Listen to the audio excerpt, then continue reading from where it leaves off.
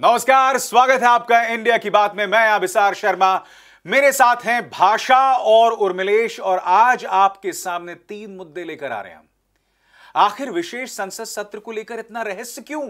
और अगर सोनिया गांधी ने प्रधानमंत्री मोदी से सवाल कर दिया तो उन पर ऐसा वाहियात हमला बीजेपी का। मुद्दा नंबर दो जो हम आपके सामने लेकर आ रहे हैं कि मोदी सरकार ने अपने प्रचार तंत्र के ज़रिए इंडिया बनाम भारत को लेकर एक शिगुफा छोड़ दिया। मुद्दा क्या है? सियासत क्या है? और तीसरा मुद्दा, एडिटर्स गिल्ड ऑफ़ इंडिया की एक फैक्ट फाइंडिंग रिपोर्ट जाती है मणिपुर। उन पर एफआईआर दर्ज हो जाती है। पत्रकारिता से आखिर बीजेपी को क्या एलर्जी है? मगर शुरुआत हम करना चाहेंगे संसद के विशेष सत्र वाली रिपोर्ट से।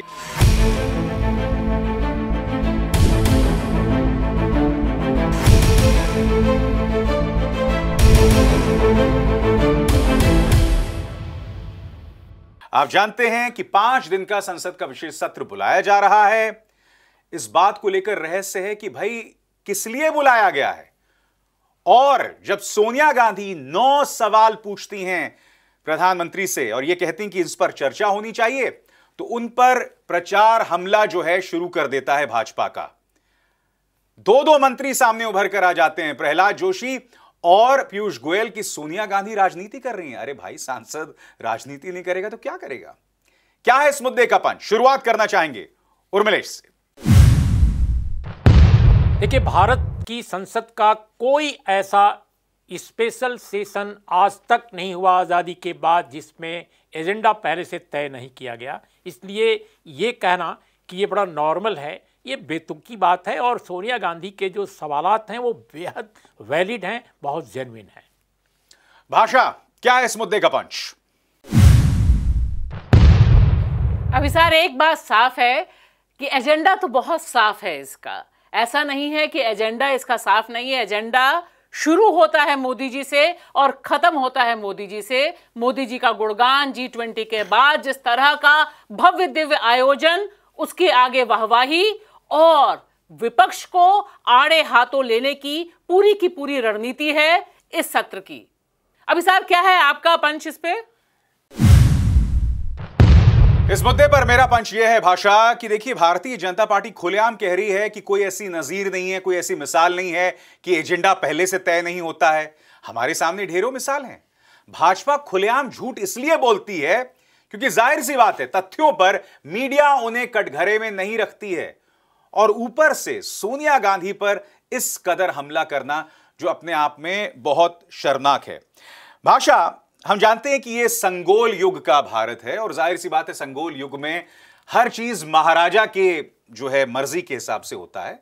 और आप बिल्कुल सही कह रही थी कि मकसद यही है कि भैया मोदी जी का किस तरह से ज़्यादा से ज़्यादा महिमा मंडन किया जाए और उसमें अगर कोई खलल डाली जाएगी तो ज़ाहिर सी बात है उन पर हमला होगा। जी, और इसमें देखिए, इसीलिए इस तरह का हमला सोनिया गांधी जी पर हुआ।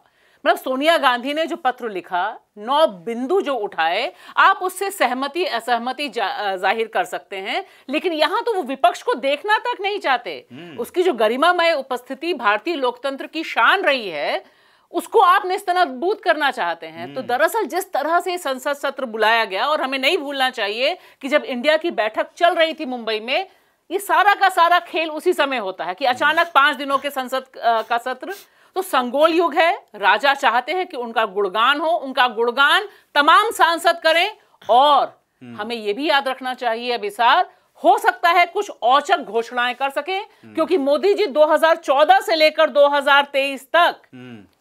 बिना अपनी ही सरकार के मंत्रियों को बुलाए इस तरह की घोषणाएँ करने में माहिर रहे हैं। चाहे नोटबंदी हो चाहे लॉकडाउन हो तो और इसीलिए तमाम शगुफे भी इसके इर्द गिर्द छोड़े जा रहे हैं। वन कंट्री वन इलेक्शन आदि इत्यादि जिसपे चर्चा करवाई जा रही है। जी मैं अपने दर्शकों को ज़िक्र करना चाहूँगा कि देखिए पहली बार नहीं है कुछ तारीखों का मैं ज़िक्र करना चाहूँगा। 30 जून 2017 जीएसटी को लेकर रात को बहस कराई गई थी। फिर आपको याद होगा जुलाई 2008 वामपंथी दलों ने जब अविश्वास प्रस्ताव किया था, उसको लेकर विशेष सत्र हुआ था। 1971 में स्वतंत्रता की रजत जयंती पर बहस हुई थी। और यही नहीं, जब भी कोई संवैधानिक संकट होता है, उसकी मैं आपको दो मिसाल देना चाहूँगा। अनुच्छेद 356 के प्रावधान के तहत हरियाणा में राष्ट्रपति शासन की मंजूरी के लिए 3 जून उन्नीस सौ इक्यानवे से दो दिनों के लिए विशेष सत्र हुआ था और उसी तरह से तमिलनाडु और नागालैंड में राष्ट्रपति के विस्तार के लिए 1977 में। तो हमारे सामने बहुत स्पेसिफिक संजीदा मिसाल है। मेरे ख्याल से यह अप्रत्याशित होगा जहाँ एक व्यक्ति के महिमा मंडन के लिए आप विशेष सत्र बुला रहे हैं। देखिए, पहली बात तो यह है कि भारत सरकार के जितने प्रमुख लोग हैं खासकर पार्लियामेंट्री अफेयर्स मिनिस्टर या दूसरे और स्पोक्स पर्सन उनको मैं लगातार सुन रहा हूँ कि नहीं साहब अगर पहले से नहीं एजेंडा हमने तय किया है तो इसमें कौन सी बड़ी बात है हम्म। ऐसा तो होता रहा है हम्म। लेकिन आज तक एक भी वो नजीर नहीं दे पाए कि कब ऐसा हुआ है बिल्कुल आज़ादी के बाद अगर वो एक भी नजीर दे दें हम्म। मैं ये ठीक है कि वो लोग पार्लियामेंट में हैं हम लोग बाहर हैं लेकिन पार्लियामेंट को दर्शक दीर्घा से देखने हम्म। या प्रेस दीर्घा से देखने का मेरा भी अनुभव है। बिल्कुल। और 40 वर्षों की अपनी पत्रकारिता के करियर हम्म। में अड़तीस साल मैंने विधानमंडलों और पार्लियामेंट को कवर किया है। टोटल ऑफिशियल रिकॉर्ड के हिसाब से। Thirty eight of assemblies and parliament अच्छा विधानसभाओं में भी ऐसा कभी नहीं हुआ मेरे ख्याल से? कभी नहीं कभी नहीं हुआ। और मैं भारत की दो विधानसभाएँ कवर कर चुका हूँ पंजाब और बिहार। हम्म। दो और मैं समझता हूँ कि दोनों प्रमुख राज्य हैं देश के हम्म। न तो विधानमंडलों में कभी ऐसा हुआ न तो संसद में कभी ऐसा हुआ हम्म। कि एजेंडा नहीं बताएँगे लेकिन संसद सत्र बुलाएँगे हाँ। कमाल का है और देखिए इसमें तो बड़ा मज़ेदार इसमें बड़ा मज़ेदार है हाँ। कि वो कहना चाहते हैं कि जो हमारी इच्छा है उर्मिलेश जी हाँ। यहाँ पर मोदी जी का कहना है कि अब नया लोकतंत्र है हाँ। संगोल युग है तो हमारी इच्छा है हम आप जब वहाँ पहुँचेंगे तो हो सकता है उस तारीख को मिले हाँ। कि क्या किस चीज़ पे आप चर्चा कर और ये भूल जा रहे हैं हम्म। कि ये संसद उनके पैसे से नहीं चल रही। मैं वही ये संसद हम तमाम लोगों के देखो हर भारतीय नागरिक का पैसा लगा है और उसकी जवाबदेही हमारे प्रति है। देखो भाषा मैं आपकी बात समझ रहा हूँ लेकिन मेरा कहना है कि तब इसको संसद न कहिए हम्म। इसको सेंगोल दरबार कह दीजिए हम्म, और फिर आप जो चाहे वो कीजिए। अरे ऐसे मत कहिए वो लोग सुन रहे हैं। अगला अगला यही कर देंगे। ठीक है मैं मैं यहाँ पर भाषा आपसे पूछना चाहता हूँ। सोनिया गांधी ने नौ जो सवाल किए हैं वो बहुत सटीक सवाल हैं देश की सुरक्षा को लेकर। भ्रष्टाचार को लेकर महँगाई को लेकर बेरोजगारी को लेकर बहुत सटीक सवाल हैं। आपने देखा भाषा उसके बाद क्या होता है? भाजपा एक अश्लील प्रचार चलाने लगता है। एक ट्वीट करता है कि भाई सोनिया गांधी का जो क्राउन है मुकुट है वो राहुल को जाएगा प्रियंका को जाएगा। आपको यह भी याद होगा पिछले ही हफ़्ते बीजेपी ने एक बहुत ही वाहियात प्रचार रिश्तों दोनों के रिश्तों को लेकर। यानी कि अब सीधे सरल सवार करें और मंत्री उनके क्या कहते हैं कि सोनिया गांधी राजनीति कर रहे हैं? अरे राजनीति कहाँ से आ गई नहीं और राजनीति नहीं करेंगे क्यों नहीं करेंगी? हाँ। वो सांसद हैं एक बहुत अहम पार्टी से जुड़ी हुई है जिसका उन्होंने नेतृत्व किया है। हम्म। तो उनको तो राजनीति करनी है ठीक उसी तरह से जैसे मोदी जी राजनीति कर रहे हैं। हम तो जी ट्वेंटी को देख रहे हैं उसके इर्द गिर्द राजनीति हो रही है। हम्म। तो सवाल यहाँ बहुत साफ़ है कि सोनिया गांधी पर जो हमला है हम्म। वह यह बता रहा है कि उनको नौ सवाल जिसमें मणिपुर सुलगता हुआ मणिपुर भी है हम्म। अडानी जी का भ्रष्टाचार भी है हम्म। कैग की रिपोर्ट भी है। हम्म। सारी चीज़ें हैं जो देश देख रहा है। अब इसार ये देखिए कि ये बहुत साफ़ है कि सोनिया गांधी के सवालों का जवाब देकर और कायदे से देश को बता के कि भाई आप देश का पैसा इन पाँच दिनों पे किस मुद्दे पे खर्च करना चाह रहे हैं? आप मामला डाइवर्ट कर रहे हैं। तो पूरी कोशिश अभिसार जो दिखाई दे रही है कि मोदी सरकार का सबसे बड़ा एजेंडा है 2024 के लिए। ठीक है। डाइवर्ट करना डाइवर्ट करना मुख्य मुद्दों को हटा देना। उर्मिलेश जी मैं पीडी आचार्य को कहीं सुन रहा था जो लोकसभा के पूर्व सेक्रेटरी जनरल ने। उन्होंने भी कहा था ये जो सीक्रेसी है ये जिस तरह से रहस्य बनाया हुआ है ये लोकसभा की मर्यादाओं के खिलाफ है। एक लोकसभा का सेक्रेटरी जनरल साफ़ तौर पर कह रहा है ये सरकार को और क्या चाहिए? क्या सुनना चाहती है सरकार? देखिए जो भी पार्लियामेंट्री प्रोसीजर को जानने वाला व्यक्ति होगा और आप तो आचार्य आचार्य साहब को कह रहे हैं देखिए आचार्य साहब जो है बहुत ही सिद्धस्थ हैं हम्म। और मैं समझता हूँ कि कॉल एंड शक्धर हो या प्रोसीजर हो हम्म। जितने डॉक्यूमेंट्स हैं पार्लियामेंट के हम्म। उन सबको वो बारीकी से समझते हैं। तो जब उस तरह के व्यक्ति कह रहे हैं लेकिन जो लोग पार्लियामेंट में जिनका अनुभव बहुत कम सालों का है बहुत कम सालों का है वो ये दलील दे रहे हैं कि नहीं साहब हम तो ऐसा कर सकते हैं। कैसे आप कर सकते हैं? और दूसरी बात जो आपने बड़ी महत्वपूर्ण कही कि भाई बहन के रिश्तों पर ये लोग करते हैं इस तरह की बात। व्हाट्सएप यूनिवर्सिटी जब अभी चालू नहीं हुई थी दुनिया में तब से हम देख रहे हैं कि सोनिया गांधी पर नेहरू पर हम्म। गांधी पर तो कम हम्म। लेकिन नेहरू गांधी परिवार पर तरह तरह की बातें जो आजकल व्हाट्सएप यूनिवर्सिटी में आ गई हैं ये पहले से चलती रही हैं। और मेरा ये सवाल है कि भाई बहन के रिश्तों पर जिस तरह की आई मीन टिप्पणियाँ आ रही हैं ये कौन सा सनातनी धर्म है? ये कौन सा सनातनपन है इनका भाई जिसका ये दावा करते हैं? सही बात है। और अब हम रुक करना चाहेंगे अपने दूसरे मुद्दे का, क्योंकि आपको याद होगा, अचानक एक शगुफा छोड़ दिया जाता है कि देश का नाम बदला जा रहा है। अब जो है देश इंडिया नहीं, भारत रहेगा। अब बात वहाँ तक सीमित नहीं थी। पूरा एक प्रचार तंत्र, सिर्फ़ मीडिया ही नहीं, वीरेंद्र सहवाग, साइना नेहवाल, अमिताभ बच्चन, सभी सामने आ जाते हैं, कंगना रनौत। और शॉकिंग बात यह है कि भाजपा का एक सांसद हरनाथ यादव तो इंडिया को गाली तक करार देता है। सिर्फ़ इसलिए कि विपक्ष के गठबंधन का नाम इंडिया है, अब तुम इंडिया को गाली देंगे। तो इसके पीछे की सोच क्या है? और क्या है इस खबर का पंच? शुरुआत करना चाहेंगे भाषा से। अब इस मुझे बहुत साफ़ दिखाई दे रहा है कि चुनावी वैतरणी पार करने के लिए यह भाजपा का एजेंडा है। इंडिया बनाम भारत की एक झूठी लड़ाई पेश करके सारे देश को उसी में झोंक देना और उस बहाने एक झूठ झूठा इतिहास, सबके ऊपर थोक देना कि इंडिया दरअसल अंग्रेज़ों का दिया हुआ है, जबकि ये सौ फ़ीसदी गलत है, यह ग्रीक ओरिजिन है इसका, और झूठ झूठ झूठ, यानी चुनाव में जीत को सुनिश्चित करना। अभिसार क्या है इस पे आपका पंच? इस मुद्दे पर मेरा पंच यह है कि सरकार कहीं ना कहीं पानी में कंकड़ फेंक रही है, जिसे हम अंग्रेज़ी में टेस्टिंग द वाटर्स कहते हैं, और सांस्कृतिक राष्ट्रवाद पर एक बहस चाहती है। एक तरफ़ खड़ा कर दो विपक्ष को कि देखो, ये तो अंग्रेज़ की गुलामी के विरासत को ढो रहे हैं और एक तरफ़ हम हैं जो असली हिंदू, असली भारतीय, असली सांस्कृतिक राष्ट्रवाद के हिमायती हैं। मुद्दा वह उसके अलावा कुछ नहीं। उर्मिलेश जी, क्या है मुद्दे का पंच? मैं तो समझता हूँ कि इंडिया अलायंस इसका एक कारण है। जो विपक्ष ने बनाया हालाँकि उसका नाम इंडिया पर नहीं है उसका नाम तो आ, लंबा चौड़ा है जो उसका शॉर्ट फॉर्म है। और दूसरा जो कारण है वो मोहन भागवत जी कुछ दिन पहले गुवाहाटी गए थे उन्होंने जो नसीहत दी है कि भाई भारत शब्द यूज़ किया जाना चाहिए और कोई नहीं तो मुझे लगता है ये दो कारण हैं। भाषा आपने देखा इनको मौका मिल गया जस्ट बिकॉज़ आज की तारीख में मतलब देखिए आप हिंदू मुस्लिम में बंटवारा बात समझ आती है। अब इन्होंने इंडिया और भारत में बंटवारा कर दिया और बंटवारा किया तो किया। इंडिया को गाली कंगना रनावत कहती हैं कि इंडिया यानी गुलाम। गुलामी सब गुलामी। मतलब उन्होंने न जाने कौन सी घर की डिक्शनरी है उनकी। हरनाथ यादव उन्होंने इंडिया को गाली दे दी और मीडिया उन्होंने तमाम कार्यक्रम चला दिए कि साहब इंडिया जो है वो नकारात्मकता है और ये है। मतलब this is stranger than fiction मतलब हैरानी कल्पना से भी विचित्र है ये हैरानी की बात देखिए अभी सर कि 2014 से लेकर अभी तक सरकार मोदी जी की ही है।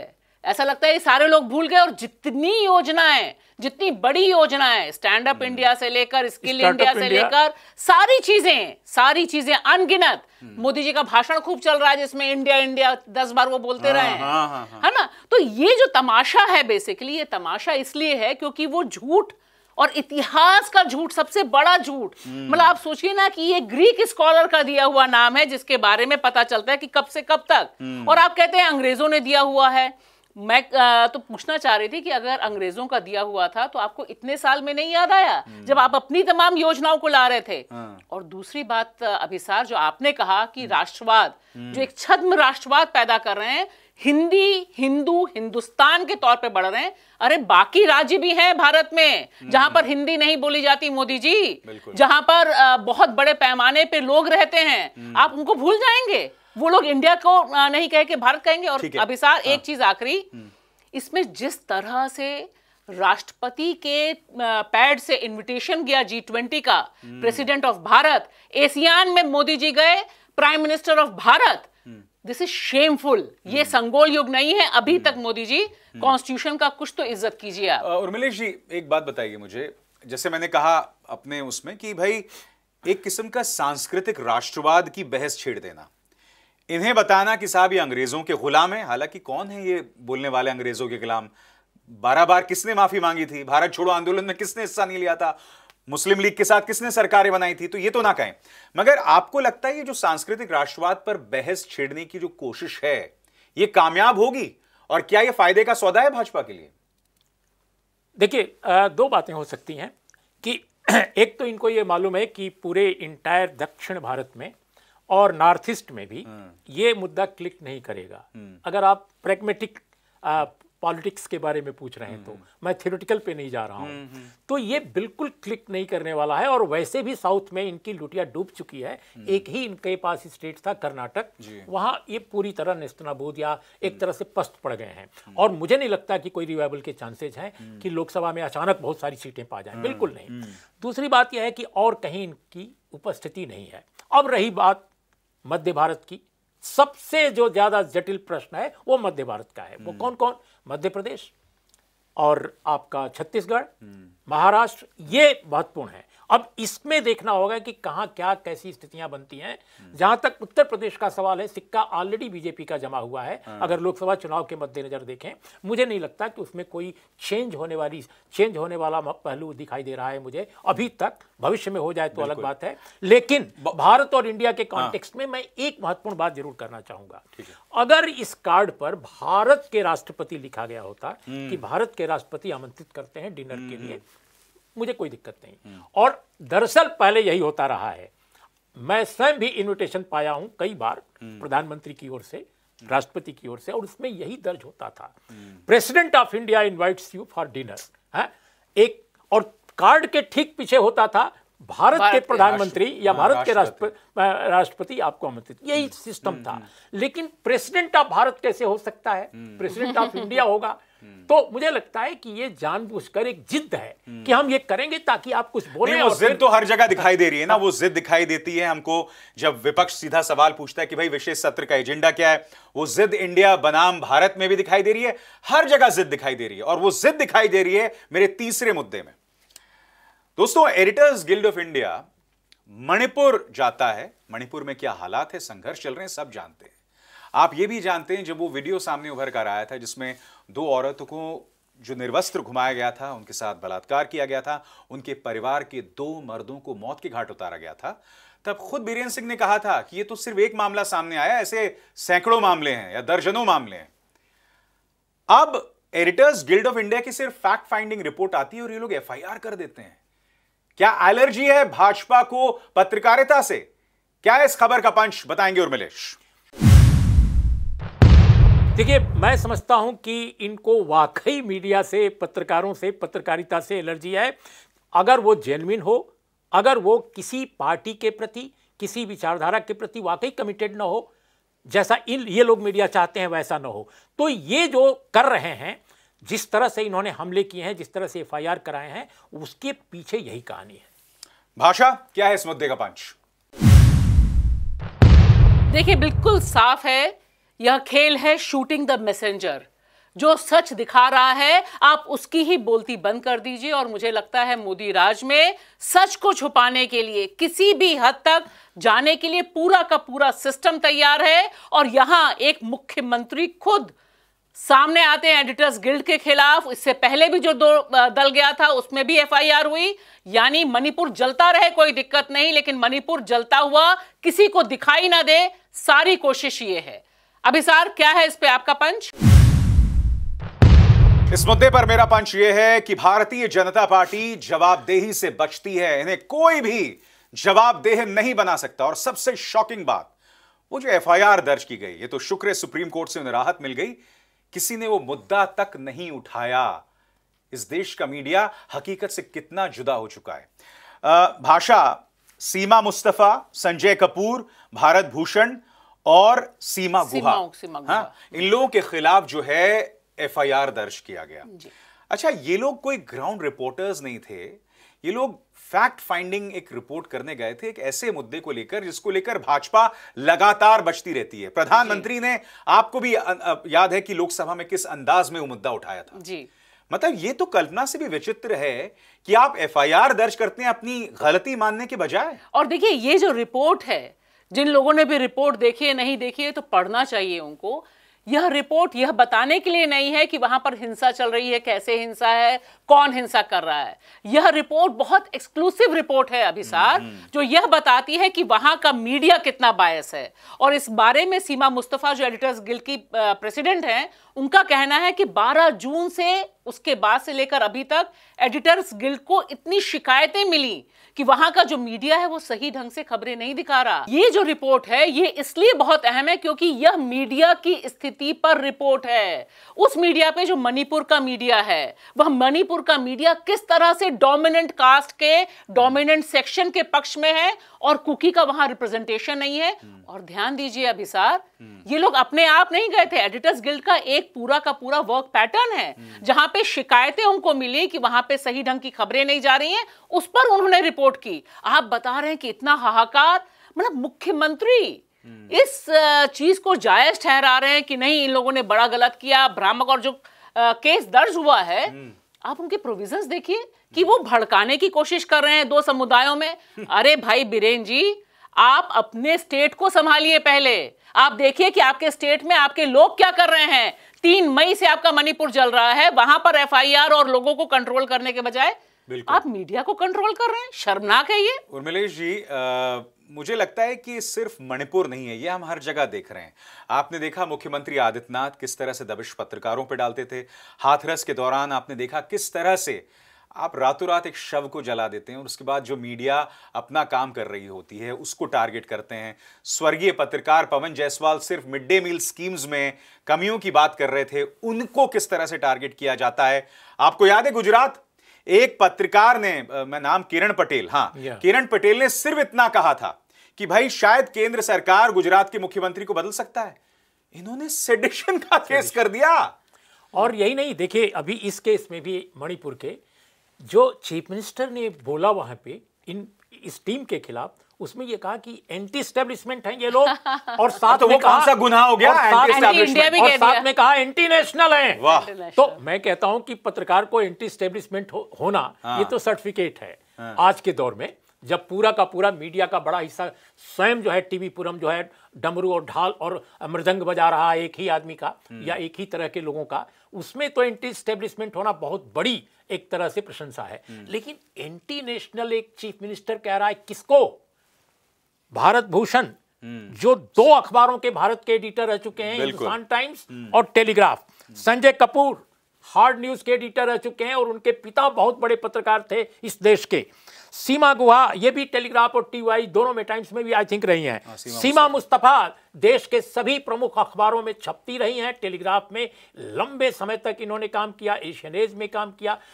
ऐसे चार संपादकों को टारगेट करते हुए एक उस प्रदेश का मुख्यमंत्री कह रहा है जो पिछले कई महीनों से अपने अपने स्टेट को जलते हुए देख रहा है हिंसा का शिकार होते हुए देख रहा मैं बहुत त्वरित आपकी, आपकी, आपकी उसमें एक जानकारी और बढ़ा दूँ कि आपने योगी जी का नाम लिया अभिसार हम्म। योगी जी ने और उनके सरकार ने अभी एक पत्रकार के खिलाफ 420 का मामला दर्ज किया है हम्म। क्योंकि उन्होंने नया जियो किया है कि कोई भी निगेटिव खबर होगी तो उस निगेटिव खबर की जाँच होगी। और ये पत्रकार क्या कर रहे थे?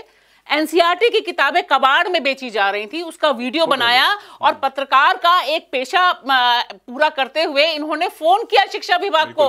और मैं ये भी बता दूँ कि वेस्टर्न यूपी में एक व्यक्ति एक पत्रकार सिर्फ़ मंत्री जो थी योगी सरकार में उनसे सवाल पूछ रहे थे कैमरे पर या, या। उन्हें गिरफ़्तार करवा लिया गया मुझे बहुत त्वरित आपसे प्रतिक्रिया जा, जानता हूँ दोनों से दस दस सेकंड में आ, क्या ये एक किस्म का एजेंडा है एक डर वाला एजेंडा है जिससे आप औपचारिक तौर पर हर राज्य पे भाजपा लागू करेगी देखिए इसके पीछे कहानी यह है कि मीडिया का एक सेक्शन जिसको आप न्यूज़ पोर्टल कहते हैं वेबसाइट कहते हैं या यूट्यूब हम्म। चैनल कहते हैं हम्म। जो फ्रीलांस हैं हाँ। आमतौर पे हम्म।